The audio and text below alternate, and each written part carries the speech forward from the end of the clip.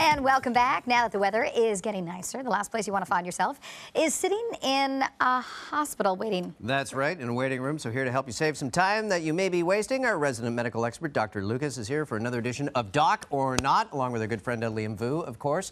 All right, we've got five scenarios we're going to try to get through. Scenario number one, I believe, is our last guest tongue. Uh, Jeff, what, what is going on with that? I, I need the dog. I don't know what to do for that.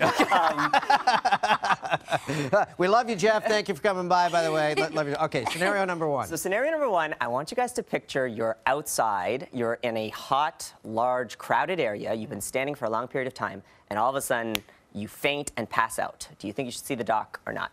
That's a nod. Not if it's just the first time, sorry? First time this First happened? First Fine. time. Um, I'd say yes, because what if you hit your head potentially? Um, what if it was a seizure? I'd say doc.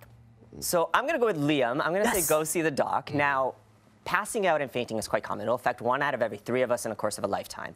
But in this case, I agree with you, Jeff. It's not designed to be something serious, but you should go see the doc to at least have your heart rate and your blood pressure checked and make sure you didn't have a seizure, you don't have a stroke. And then the doctor can decide do we need to do more tests? Do we need to check how, how well your heart is pumping or figure out what is happening? You know what I've figured out about this whole thing, this game we do with Dr. Lucas? We should always vote Doc because he's all about he's about billable hours, right? So And one more thing, I am an easy fainter. I I uh, I faint. You actually fainted after that interview. That's, one, my, that's how I met. Yeah, right. Yeah, uh, all right. But that is how I met Chris. But and you know what? A visit to the doctor did tell me I dehydrate rapidly. Exactly. There you go. situation number two. So this is probably something very near and dear to all of your hearts because you use this every day. But imagine for a week you've had a hoarse voice. Should you see the doc or not? Not in the emergency room, but just Are the playoffs on? the playoffs are on, Jeff. You're cheering the Leafs, but you've had a hoarse voice for a week. Uh, for a week. You know, anything that persists for a week, I think you should probably see a doctor.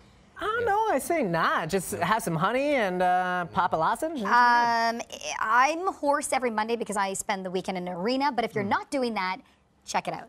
So I'm going to say not, uh, guys. So most of the time, hoarseness is a result of having a viral infection, and viral infections can linger for up to three months in your vocal cords and cause some discomfort.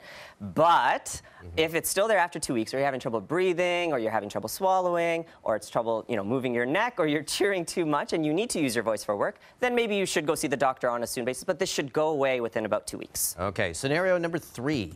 So this is a combination of symptoms, and the combination is feeling cold and tired together. Do you think you should see the doc or not? I'm cold and I'm tired. Cold and tired. is me. Got you guys stumped. Always, that is Just like the way we came into this world, cold and tired. right? Yeah, that is uh, tricky. I feel like it's a.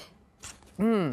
I'm going not. No, I'm gonna no. go on. Yeah, I'm gonna say not to. Mm-hmm. So I'm gonna say doc, and I and I was gonna ask you guys for bonus points if you knew what organ I was gonna test Talk you about? for. Um, it's the thyroid, and the thyroid sits in your neck, and it regulates lots of things. It regulates our body temperature, our metabolism. So if you're feeling cold and tired, your thyroid is likely underactive, and if it's underactive, you could also be constipated, thin hair, dry skin, some of these things. Doctors should check your thyroid levels, can replace them if they need to. Guess who hasn't filled her thyroid prescription in a week?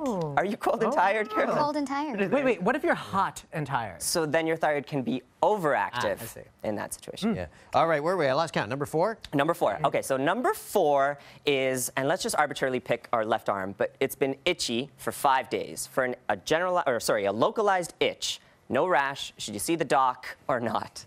On the arm. On the Jeff. arm. That's why I said arm. arm. If it itches, I say see the doc.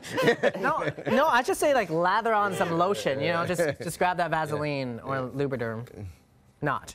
Not in. Not. So I'm going to go with not in this type of situation, Jeff. Tell us stories, Jeff. I- I'm like 0 for 4. I don't know. Rule of thumb is if it burns or it itches, go to the doctor, I say. But, yeah. I think if it's below the equator, then yes. yeah.